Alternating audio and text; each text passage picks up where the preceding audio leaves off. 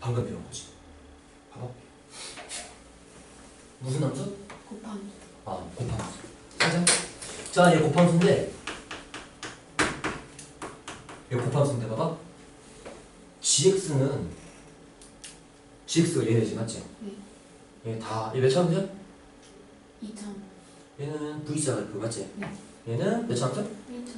그럼 얘들은 다 연속이겠네? 네. 쓸게. 얘는 연속이야. 근데 fx가 봐. fx가 얘지? 얘 어디서 끊겨 있어? 마이너스. 그렇지.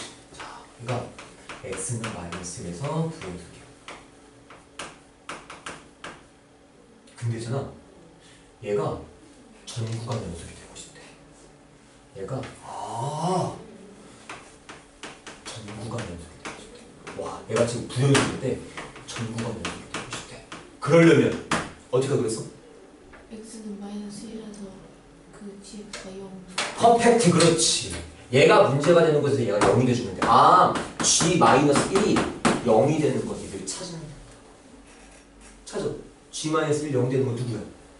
기억. 기억이랑 미유. 니. 끝. 그래서 정답 기억 됐어? 음.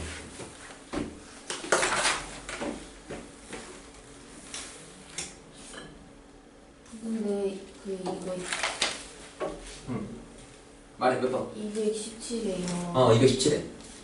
지, 지그시 어 217에 지금 어. 자치구간 3, 4의 최대값을 갖지 않는다잖아요. 어. 어. 근데 응.